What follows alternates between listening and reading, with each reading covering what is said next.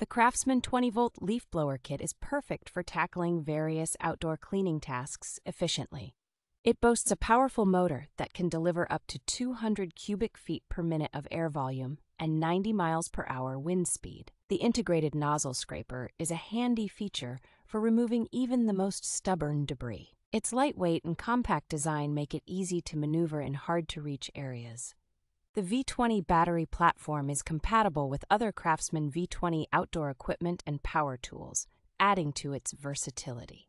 Additionally, it is Versatrack compatible, allowing for convenient storage on the Versatrack wall organization system.